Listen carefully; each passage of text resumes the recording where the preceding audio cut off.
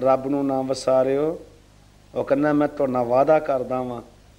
ਜਨਮ ਤੋਂ ਲੈ ਕੇ ਮੌਤ ਤੱਕ ਕਿ ਤੁਹਾਡੀ ਹਰ ਚੀਜ਼ ਦੀ, ਹਰ ਮੁਸ਼ਕਲ ਦਾ, ਹਰ ਤੁਹਾਡੀ ਵਜੂਦ ਦਾ, ਹਰ ਥਾਂ ਦੇ ਉੱਤੇ ਤੁਹਾਡੀ ਵਜ੍ਹਾ, ਮੈਟਰਸ, ਪ੍ਰੋਬਲਮਸ ਦਾ ਡਿਫਿਕਲਟਸ ਜਿੰਨੀਆਂ ਵੀ ਨੇ, ਉਹਨੂੰ ਮੈਂ ਪ੍ਰੋਟੈਕਟ ਔਰ ਸਿਕਿਉਰ ਕਰਾਂਗਾ। ਕਿਉਂ? ਤੁਸੀਂ ਮੇਰੇ ਬੰਦੇ ਹੋ। ਉਹ ਆਪਣਾ ਰੱਬ ਆਪਣੇ ਬੰਦੇ ਨੂੰ ਆਖਦਾ। ਜੇ ਤੁਸੀਂ ਮੈਨੂੰ ਕਦੇ ਭੁੱਲੋਗੇ ਨਹੀਂ ਤੇ